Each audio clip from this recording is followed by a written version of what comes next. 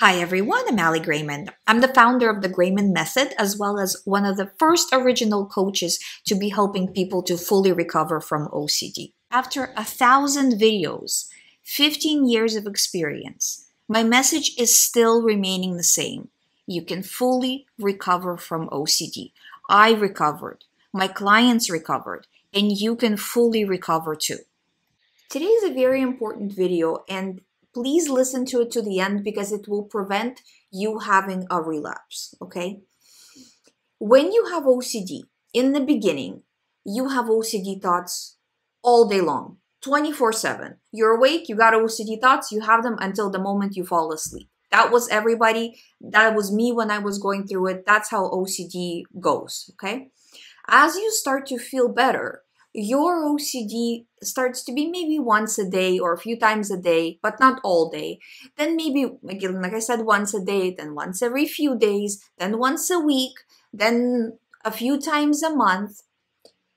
And if in that moment where, let's say, you haven't had an OCD thought for a week, you got an OCD thought and you're like, oh my God, it came back that's it. I'm never going to recover. You're going to start veering into meta OCD, OCD about OCD. What if I never recover? You start to ruminate about that. Again, it's all comes down to rumination. So you start to ruminate about why am I never going to recover? You're just getting into a new theme. This is not OCD came back.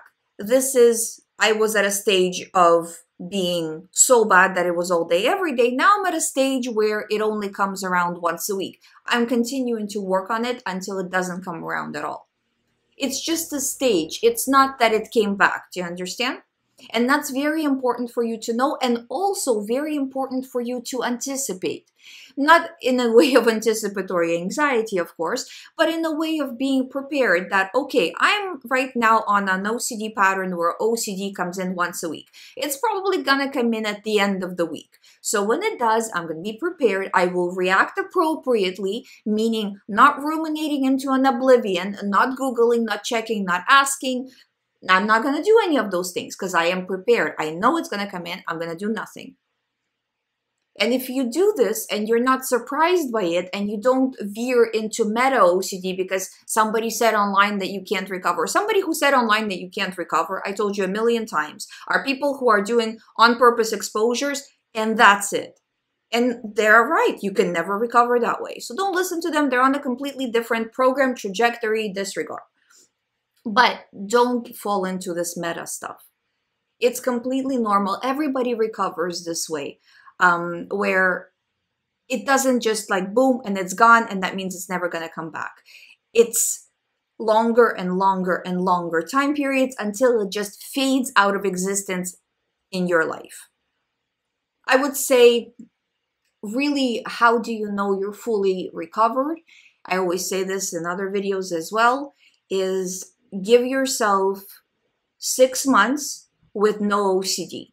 Because A, that's a long period of time for you to heal on a physical level from OCD.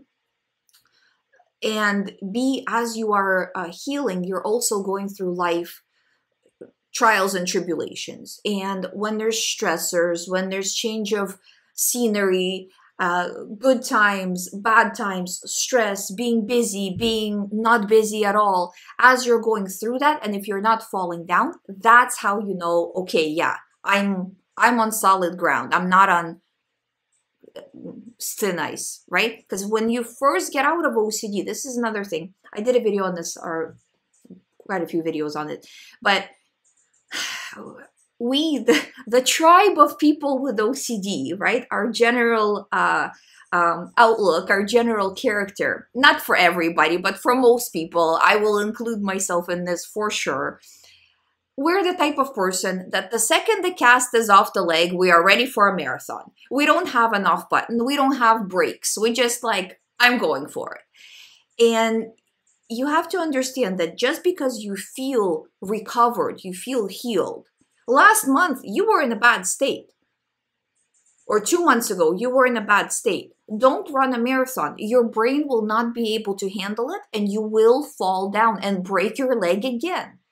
So ease into the busyness of your life. If your life is really busy, for most people, hmm, majority, I'd say, of people with OCD, we make our lives very busy with all the special projects and this and that.